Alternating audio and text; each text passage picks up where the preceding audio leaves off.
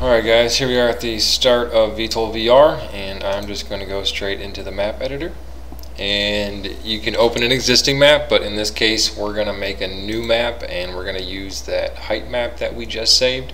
Um, you got a couple options here you can play with. I'm not really going to go over the archipelago or the mountain lakes very much. Um, I think it's all pretty self-explanatory. Um, you mess with the size and yada yada yada. Um, so here for the map, same thing, size, you can choose the uh, biome type. Um, really up to you on the kind of mission you're really going for. Um, border type becomes important because it obviously dictates what the edges of your map are going to look like. So with the um, coastline kind of that we just got, um, it's impossible to have um, part water edge and part um, land edge from what I can see. It's kind of one or the other based on the way it currently works. Um, so you'll kind of see what I mean in a minute and I'll switch between them to kind of give you the visual. Uh, but for now we're going to leave it on water and I'm going to leave everything else as it is. And I'm going to choose the height map. Oh, give me one second while I move the image I just took into the directory necessary for the editor.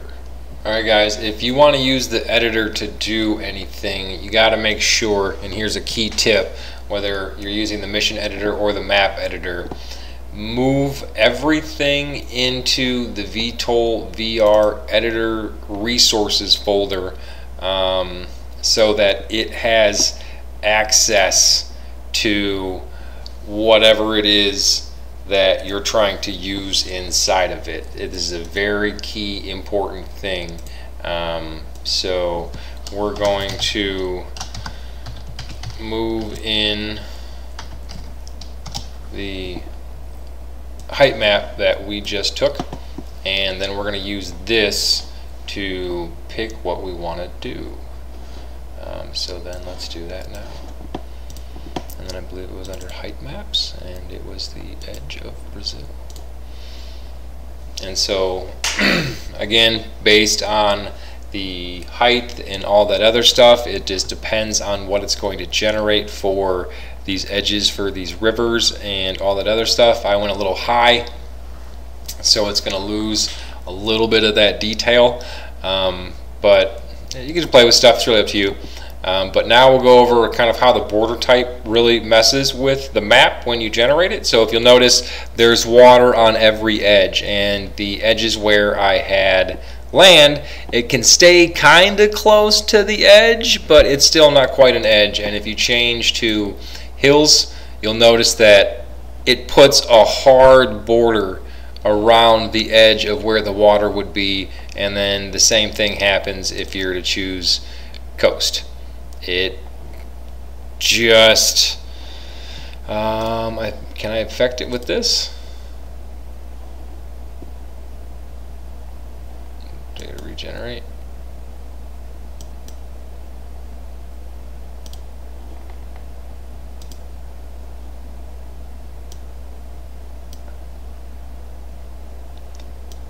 So I'm not exactly sure what the coastline's given me here.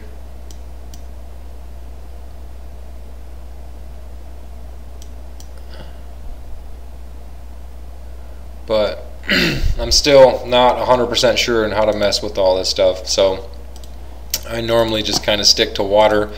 Um, so I either go for a island type map or I go for a non-island type map if you're using height maps it just seems to be the way it works. If you're looking for something that's more of a coastline um, I, you might have to go one of the other routes but I'm not really too concerned personally uh, about whether I can make um, a true coastline or not or there's a little bit of water's edge here. Because if I was to make a coastline gameplay map I could still very easily set up uh, rigs out here, uh, oil rigs or some tankers, put stuff on the edges over here and treat it the same way.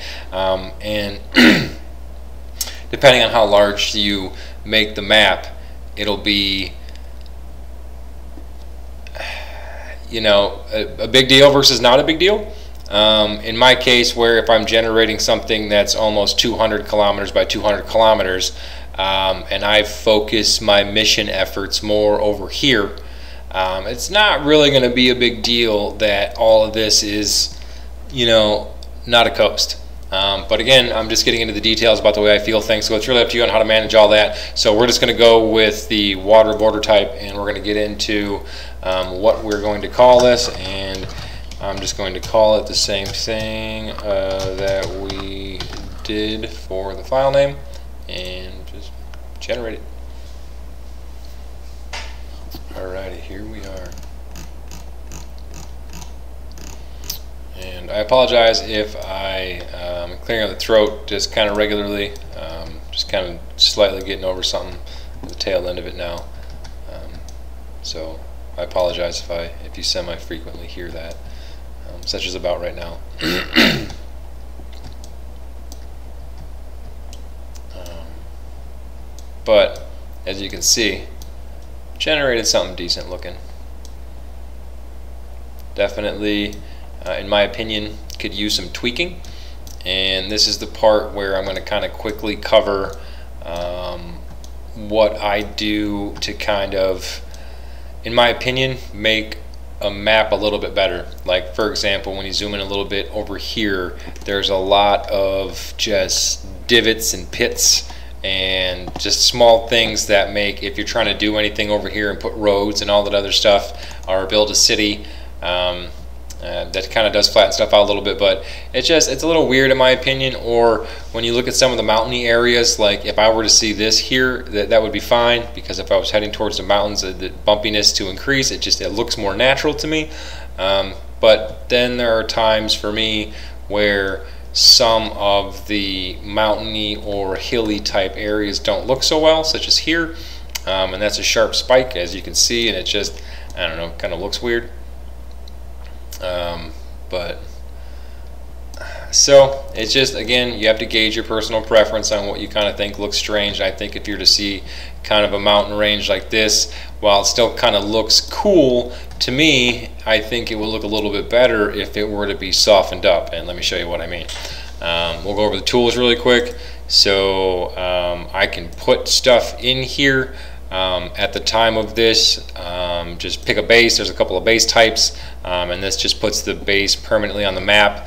Um, you should definitely do this. Um, I, you can do it in the mission editor too, but for some reason I just kind of always put my bases here when I'm making a map because it just kind of like goes with the layout of what you're doing. Um, so a couple of choices. Um, coastal. Uh, you got a dock you can put in, um, some individual buildings that you can put into a town if you want to actually kind of choose the specific makeup of how you want your town to look. Um, but there's actually a town painter too. Um, so road options, um, four lane, two lane, pretty easy, works off of curves. Um, set a midpoint, set a second point, kind of a, it, it works really easy, very easy to get a, hold of and the hang of using. Um, so I'm really not going to cover the road stuff very much. Um, and then terrain. So here's what I was mentioning about a minute ago. So if you're to zoom in, um, you can actually kind of choose what you want to do for all this stuff.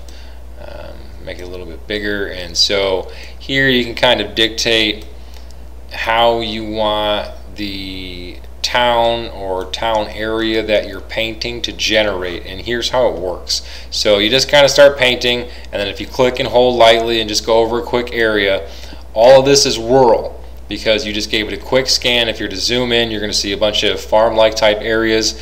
And so um, at first I thought I was trying to pick the specific like what I was doing. But in order to up the level of uh, cityness here, I guess, uh, just click again or click and hold, and then you're going to start to see that it's going to start increasing the type of density of, I guess, building there. So after a while, you're going to start seeing big buildings pop up, and so now you'll notice that it's just it's very easy to paint towns this way. So rather than sit there and pick individual buildings or whatever, you can I don't know. My recommendation is this, but um, so it generates all kinds of awesome stuff. You're going to see stuff up here with um, tops for helicopters to drop onto already and stuff like that. And it just, I don't know, I like the randomization that it kind of deals with. Um, but if you want to get in here and put anything, like again, these big objects, and you can pick something specific. Um, so I'll go downtown and I'll go to one of these big like twin tower type things and then you can just kind of try to get in here and fit it wherever you can um, and so there'll be a big tower here but I just kind of paint the city um, as again this game's more focused on the air and all that stuff. Just small details definitely matter if you're making missions where you have to pick people up and stuff like that but I think you know exact city layouts and all this other stuff aren't necessarily a big deal as long as you got objective points. Um, it's I think the only really thing that matters anyway I think it's pretty cool that he included the town painter so I don't have to build towns. Um, and then the big one that I kind of want to go over oh really quick to remove towns here's a big one so what you can do, and this is what I do with a lot of the terrain stuff, and I'll kind of show you where some of the tips and tricks come in. Increase the radius size, increase the strength size, and then you'll notice about the shape that if I'm all the way here to the right, it's very tiny, so it's dense in the middle, and it's very loose everywhere else, versus if I go to here, it's just dense everywhere. So all I want to do is remove all the towns that I added really quick, so hold shift, click the mouse again, and everything just starts disappearing except for the one big building that I added because that's not controlled by the painting mechanism. Um, and then afterwards, finish that, I can go back to my objects, click my tower, and just simply delete it. But the big terrain thing and managing terrain, making it look a little bit better, smoothing it out, be more realistic, um, you're to have to play with it to kind of just get your comfortable feel. But when it comes to managing just good general strategies for kind of fixing some of this I don't know.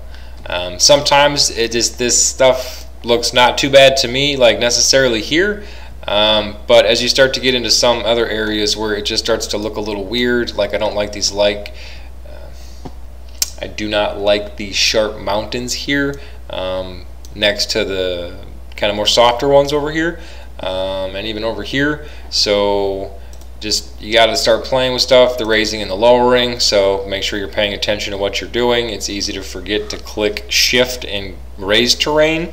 Um, so the strength here is really going to be the key factor about what you're doing. Just uh, you want to make light touches obviously you don't want a lot but this is just playing with this the difference of what it does. You can very quickly make mountain ranges or very quickly make holes down to the sea level if you're trying to build some kind of hilly area. So just be careful in playing with things. And again, shape comes in handy when trying to adjust the area of density.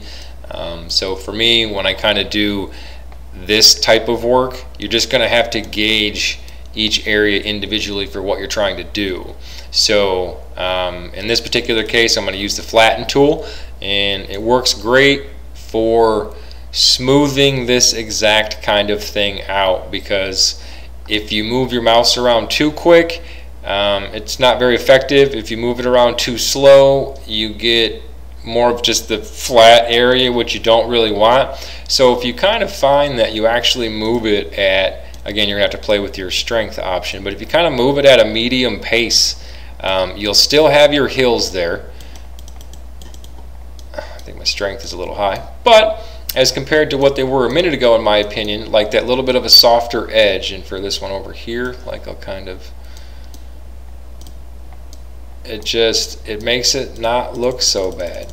It just that sharpness is it just doesn't look very good to me. Um, so if I can't get that to be softer I'll just kind of flatten it.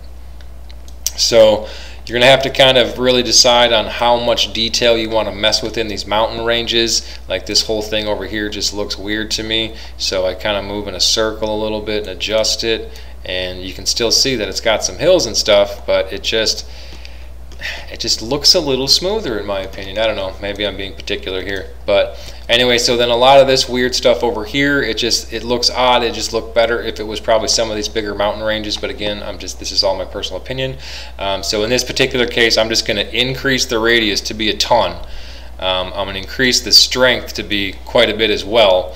Um, but I'm going to leave the shape at what it is because I don't want it to be here and give me that super hard fine edge. Um, the leveling I want to be more um, dense in some spots and a bit softer in others. So um, just kind of quickly, oh, that's still very strong.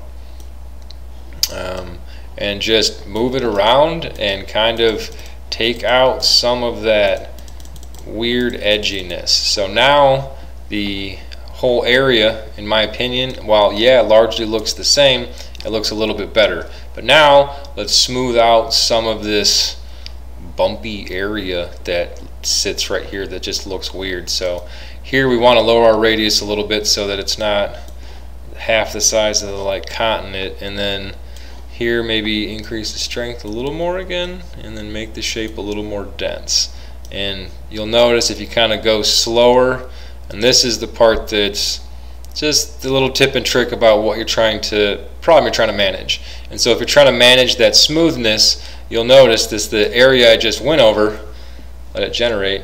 I mean it just looks it looks a lot better in my opinion. You can see this hilly these hilly areas next to it and then you see this. So it just looks so much better in my opinion um, to get a lot of that out of there. So again how much time you spend into putting the flattening of these details and making things look better it's just again you're in an airplane um, you're either dropping some stuff on a building or sending missiles or you're uh, dog fighting and there's not a ton of emphasis um, on I would say the minor details of the environment but the whole, whole overall environment looks good still. So that's why it's just really up to you and how much effort you want to put into all this stuff. Like I think this just looks terrible. Like I like I don't even want to look at it. So I go through and I spend time fixing this stuff because I'm more particular.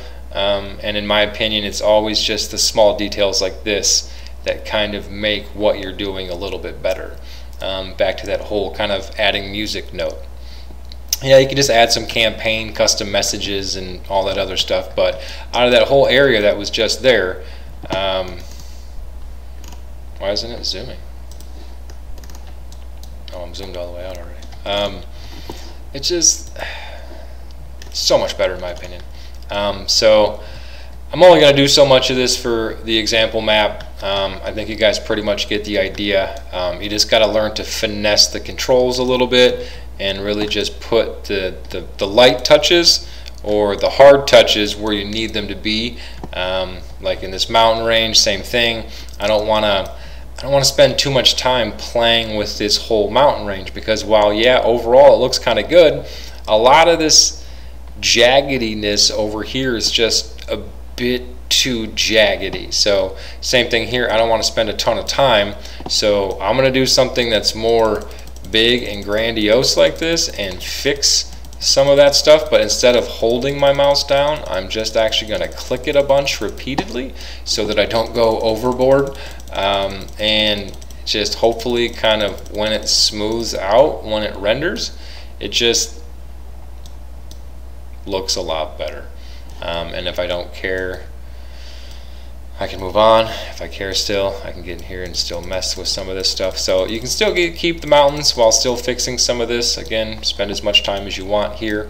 But um, it's all the, the big um, knowing when to increase the size and make it huge, doing the dense shape versus coming in, making it down like this and really knowing this is the area I'm really affecting versus the area out here where I'm barely affecting. So you can see if I'm here, those mountains on the left, they don't change much. I'm here, very drastic. So it's just, I've said it like three or four times now, how much effort you want to put into it. So we'll see you guys in uh, the mission editor with uh, some, some awesome custom maps. Um, and hopefully we'll see some of your guys' custom maps up on the Steam store or Steam Workshop, sorry.